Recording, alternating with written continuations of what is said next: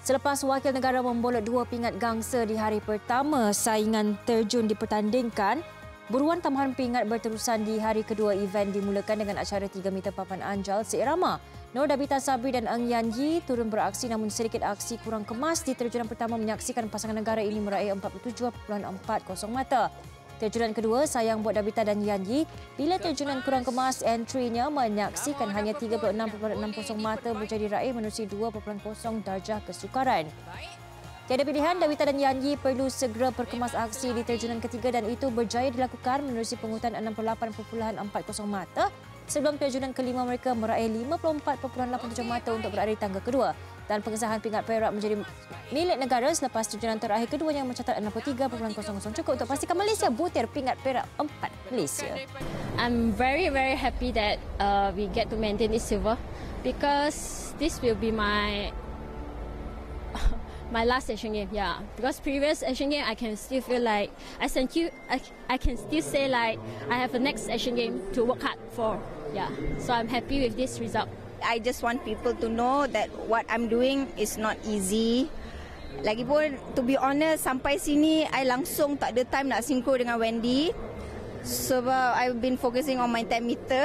I've been, I've been very, very busy. Very busy. I'm very busy. Very Datang sini tiga hari semua uh, fokus platform, betul nak fokus satu meter. So the papan macam actually back to back. So a bit orang cakap kalut and stressful and confused everything. Yeah.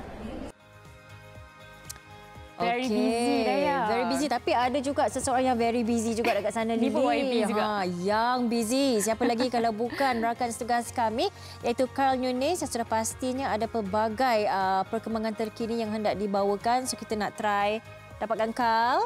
Carl dah ada ke dekat situ? Okey, tak yes, apa. Yes, dah ada Dayang. Ah, uh, itu dia. Dayang. Carl, boleh dengar ke loud and clear? Dengar, dengar.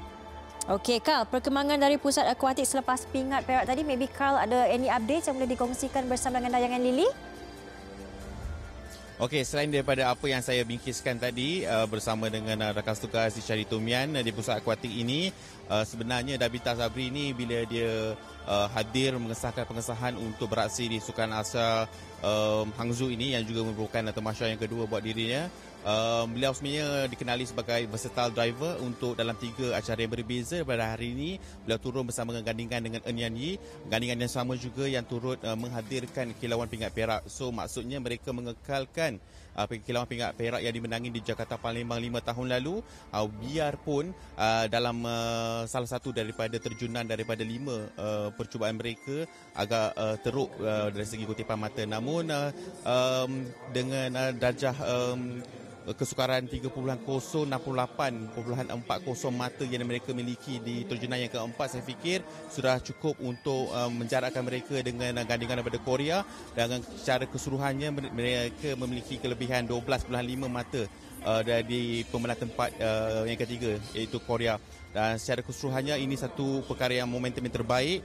Kita tahu China kekal berada di kelas yang tersendiri. Dan Bita ada banyak lagi um, acara yang beliau harus um, tempuhi. Uh, good for Dabita dan juga Enyani. Ini gandingan yang terakhir mereka di pentas sukan Asia Right, uh, Kal, nak tanya juga macam mana Dabita dengan Nyanji sebenarnya bounce back kalau kita boleh lihat tadi daripada terjunan kedua uh, mata yang dikumpul quite uh, sikit kan. Macam mana uh, mereka bounce back balik Kal?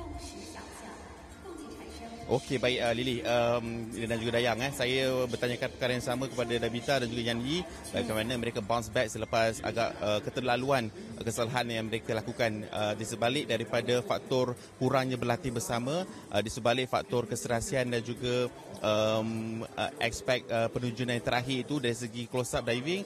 Uh, mereka sebenarnya ini uh, dah pun uh, label diri mereka selaku experienced diver. Uh, satu um, penerjun yang berpengalaman. Mereka tahu uh, reaksi uh, body language uh, bagaimana mereka bertutur kata dengan uh, hadirnya ketujuh latih di situ. Uh, perkara itu uh, macam kacang je buat orang uh, perkara itu uh, dilalui dengan uh, uh, dengan berjayanya uh, kurang uh, forget it bak kata Yandi dan uh, mereka uh, menepati ramalan lah untuk uh, berada di kedudukan yang kedua selepas gandingan China daripada tujuan pertama hinggalah tujuan kelima.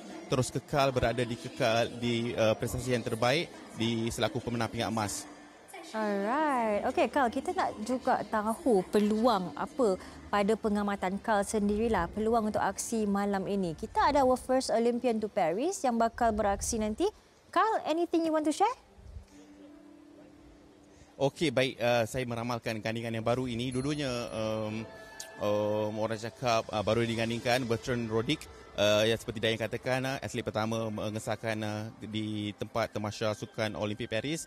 Namun saya fikir uh, pingat perak ataupun gangsa jadi buruan mereka selepas setelah saya katakan pingat emas selalu jauh standard yang daripada mereka. Uh, saya fikir tidaklah keterlaluan untuk meletakkan harapan mereka melengkapkan uh, kedudukan podium uh, pada saingan sebentar saja lagi uh, dalam uh, acara 10 meter uh, platform saya drama. Uh, ini perkara yang cukup cukup yang saya ingin uh, ketengahkan Bertrand uh, walaupun umurnya masih lagi um, remaja, masih lagi muda, uh, mentaliti dia um, cukup-cukup luar biasa seperti Azim Fahmi tetapi beliau juga harus diberikan perhatian bagaimana uh, akan mengetuai terjunan. Uh, saya fikir ada akan ada perkara yang positif. Kekal berlaku percikan emas perak atau gangsa akan kekal um, pada acara sebentar saja lagi 7.30 malam ini. Alright, uh, Kal untuk awak adakah anda akan terus berada di lokasi yang sama ataupun Kal ada tugasan seterusnya untuk malam ini Kal? Ya betul, saya kekal berada di sini untuk menjadi saksi sebahagian daripada sejarah yang bakal terukir percikan emas barangkali ataupun perak ataupun gangsa. Saya akan bawakan di Nadi Arena 11 malam ini ataupun di media sosial X Astro Arena dan uh, pastikan Lily dan juga Dayang retweet saya punya tweet tu ya. Cik, sempat claim retweet. Thank you, Carl. Selamat bertugas.